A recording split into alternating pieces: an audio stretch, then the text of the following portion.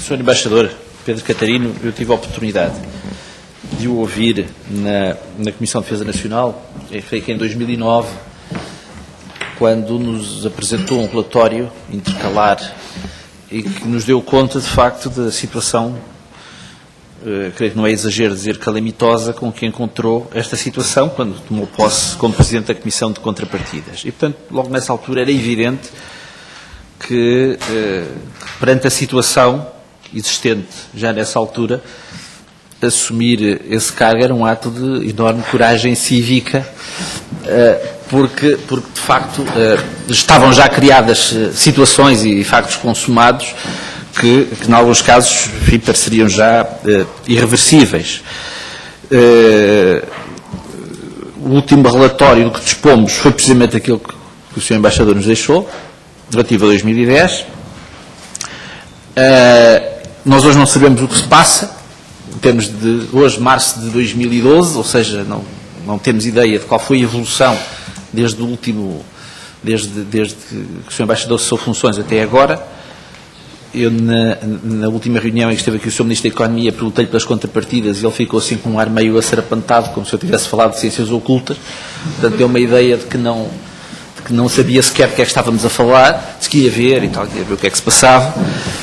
Eu pergunto-me eh, daqui por uns anos, quando fizer a história, o que é que os vindores vão pensar de tudo isto. Porque eu lembro-me que no, aqui há uma, uma, década atrás, ou aqui há 12 anos atrás, era Ministro da Defesa o Dr. Paulo Portas e, e, foi nomeado para presidir a Comissão das Contrapartidas o Dr. Pedro Brandão de Brito. Pedro Brandão Rodrigues, peço desculpa.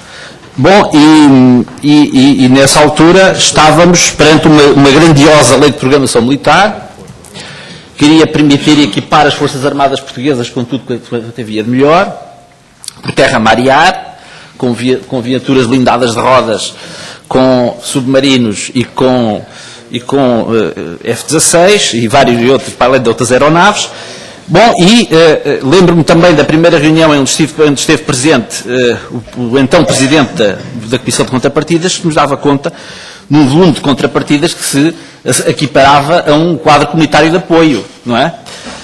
Ora bem, o que é que nós temos hoje? Passados 12 anos, temos um quadro de contrapartidas que, contas feitas, totalizaria, dois, totalizaria dois, quase 3 mil milhões de euros, 2.861 1,84 milhões de euros e temos, um, na realidade, 745 milhões. Ou seja, os vindores vão me perguntar porque é que o Estado português tinha, porque é que lhe tinham sido prometidas mais 2.116 milhões de euros que nunca vimos. Até agora nunca vimos, não é? Até agora nunca vimos.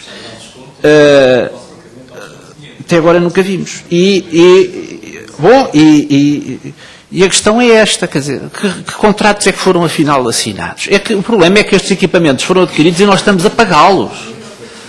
O problema é que a lei de programação militar, a lei de programação militar, que nós neste momento, a única, os únicos, toda a programação militar é o pagamento de encargos assumidos. Ou seja, estamos a pagar e vamos continuar a pagar por mais, mais uns bons anos Vamos continuar a pagar os submarinos, vamos continuar a pagar as viaturas blindadas de rodas, vamos continuar a pagar tudo isso, não é? Uh, e, e, e, de facto, as quer dizer, como é que o Estado português, porque, vamos lá ver, estas empresas ganharam os concursos porque se comprometeram com o Estado português.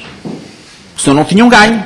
Ou seja, houve uma, uma comparação das contrapartidas oferecidas. Como é que se entende que o Estado português num quadro desses, não tenha garantido, desde logo à partida, é, penalidades eh, razoáveis para as empresas caso não cumprissem. Ora, eh, enfim, uh, o que se passou não foi isso, e, lembro-me, enfim, da reunião que teve connosco, e de facto reconhecia que a situação que encontrou era de um quadro em que as penalidades ficavam muitíssimo aquém daquilo que seria razoável exigir, em situações em que o incumprimento até poderia ser compensador para as empresas, porque, enfim, gastariam muito menos pagando as penalidades do que se tivessem de cumprir os contratos.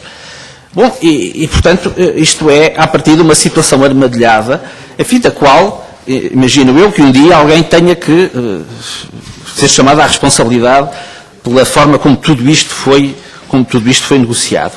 Agora, de facto, quando nós somos confrontados com um quadro de, eh, de, enfim, é que há litígios em, todos, eh, em quase todos os processos. No caso dos submarinos, dos 1.210 dos 1.210 milhões de, de, de, contrapartidas foram prestadas 381. Das viaturas blindadas de rodas, dos 516 foram cumpridos 58. Dos, do, dos aviões C-295, dos 460 milhões, foram cumpridos 4. Uh, bom, é 4, 4. Dos 460 foram 4. Uh, bom, é evidente que é, olhamos para isto com uma enorme perplexidade.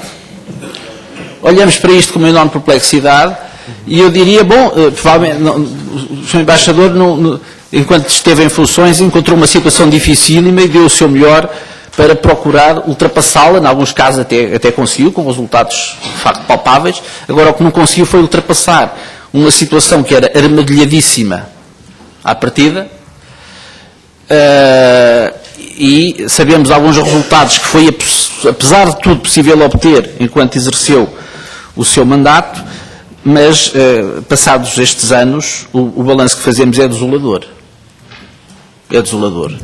E achamos que a história vai julgar muito severamente os responsáveis políticos por estes, por estes contratos absolutamente ruinosos para o Estado português. E faço votos é que, ainda apesar de tudo, seja possível recuperar alguma coisa do, do muito que irremediavelmente já se terá perdido em todos estes, em todos estes, eh, em todos estes processos. Muito obrigado.